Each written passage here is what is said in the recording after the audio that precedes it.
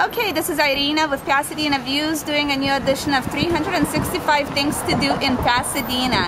And I am here on the corner of uh, Foothill and San Gabriel where, believe it or not, we have the best strawberries in town. They're from Thacker Berry Farms. Tried them last week and I thought we'll try them again. And I am here with Antonio. Antonio, you're here every day, Monday through Sunday, or how does this work? Only today. Only today. Well, not you personally, but the strawberries. When are the strawberries here? Every day? Every day. Every day. And you open at 9 a.m. and you're going to be here through June, I think, is what I was told. And these strawberries, I mean, seriously, they're beautiful.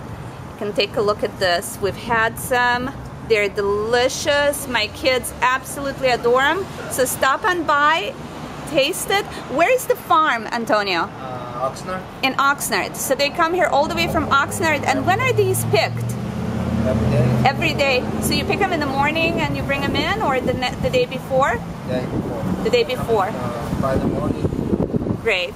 Thanks so much, Antonio. Check us out on Facebook at 365 Things to Do in Pasadena. Okay, also I forgot to mention, every time you buy strawberries here, you get this uh, frequent shopper, I guess, card.